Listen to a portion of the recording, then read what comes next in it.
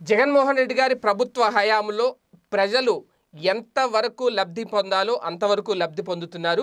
అలాగే ప్రస్తుత పరిస్థితుల్లో ప్రభుత్వం ప్రజలకు ఏం చేయగలదు ఎంతవరకు చేయగలదు మేనిఫెస్టోలో ఇచ్చిన హామీలతో పాటు ఇంకేం చేయగలదు అనే ఉద్దేశంలో కూడా అనే ఆ, దిశగా కూడా కొన్ని కీలక నిర్ణయాలు తీసుకుంటున్నారు. ఈ నేపథ్యంలో జగన్మోహన్ రెడ్డి గారు ఒక అద్భుతమైన హామీని మళ్ళీ ప్రజలకు ఇచ్చారు.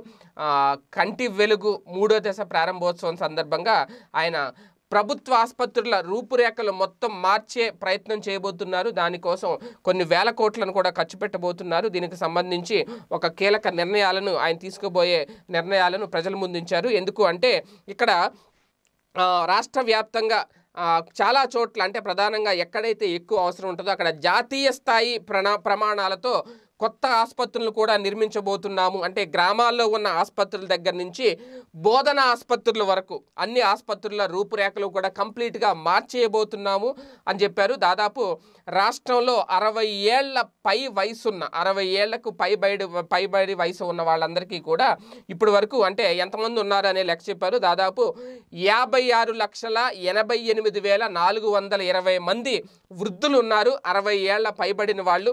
వాళ్ళందరూ కూడా ప్రస్తుతం వాళ్ళు ఉంటున్న గ్రామ వార్డుల్లోనే వైఎస్ఆర్ కంటి వెలుగు పథకం అందించబోతున్నాము. వాళ్ళు ఎక్కడికి రాకుండా వాళ్ళు ఎక్కడైతే ఉన్నారో అక్కడే ఈ పథకాన్ని ప్రారంభించబోతున్నాము అని చెప్పడం.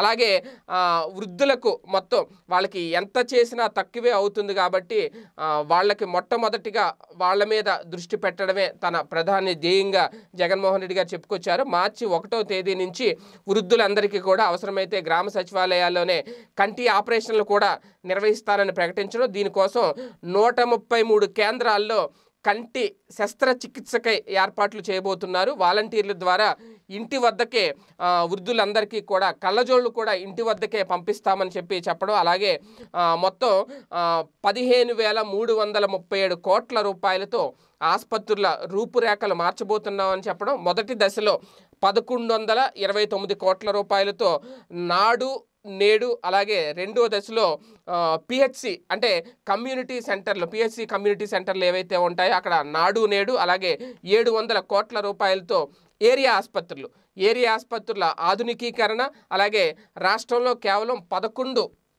కాలేజీలు మాత్రమే ఉన్నాయి మెడికల్ కాలేజీలు అంటే బోధన ఆసుపత్రులు. మెడికల్ కాలేజీల్లో అక్కడ చికిత్స చేస్తారు కాబట్టి అవి పదకొండు మాత్రమే ఉన్నాయి. అవి మరొక పదహారు టీచింగ్ ఆసుపత్రులు తీసుకురాబోతున్నాము. ప్రతి పార్లమెంట్ నియోజకవర్గానికి ఒక మెడికల్ కాలేజీలా ఉండేలాగా చర్యలు తీసుకుంటాము.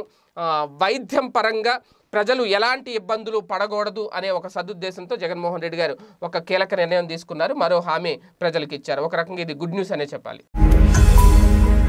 ఈ వీడియో గనుక మీకు నచ్చినట్లయితే లైక్ చేయండి షేర్ చేయండి. మరిన్ని వీడియోస్ కోసం మా ఛానల్ను సబ్స్క్రైబ్ చేయండి.